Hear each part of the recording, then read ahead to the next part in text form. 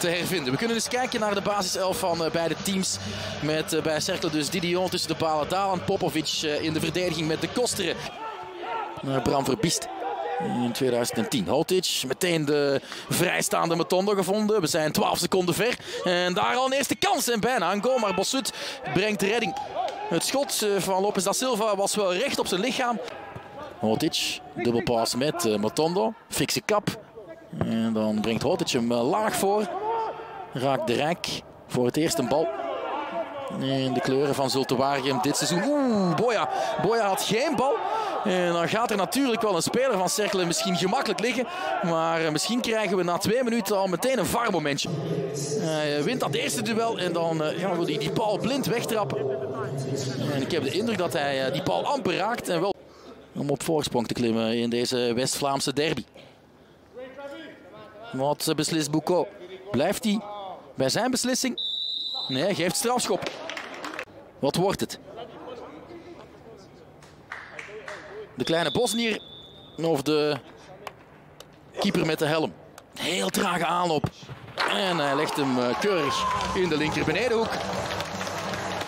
Bossut de verkeerde kant uitgestuurd. Dino Hotic brengt Cerkelenbrugge dus uh, het slotduel van speeldag 23.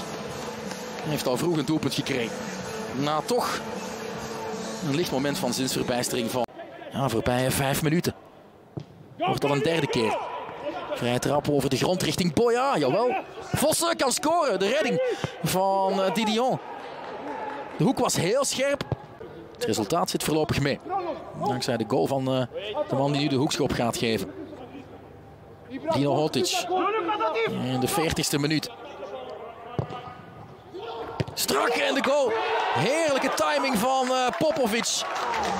Boris Popovic doet het met veel gevoel. Juiste effect. En zo belandt die bal in het zijnetje rechts.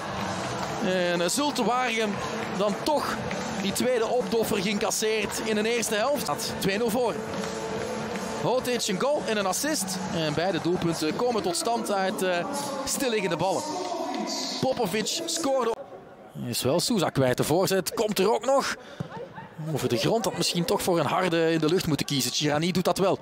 Wijkt ook nog even af. En dan een uh, ja, poging met de dij en een fout van Didion. Koutessa verwerkt die bal in één tijd met het bovenbeen. En dan begint Didion te grabbelen. En werkt Vossen. Assistent-scheidsrechter die volgens mij wel klopt. Alhoewel, alhoewel, die volgens mij niet klopt. Dus de 2 kan dus op beide oren slapen. Want ik denk toch dat Laurens Visser, die met zijn team nu de offside line aan het kalibreren is, het doelpunt uh, toekent. En ja, dat klopt. Dus 2-1. Notic heeft dat wel gesnopen. Miange gaat mee naar voren, nergens voor nodig. Als linksachter.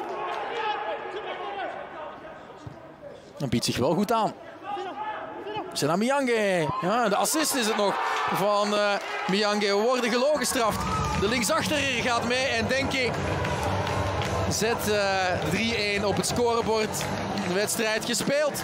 We kregen nog spanning dankzij Jelle Vossen in het absolute slot. Een paar minuten later weggehaald. Dus wel twee doelpunten in de allerlaatste minuten van de wedstrijd. Dompe. En maakt er nu officieel een einde aan. Een 3-1 thuisoverwinning voor het uh, Cerkelenbrugge van uh, Dominic Taalhammer. 21 op 24 heeft de vereniging.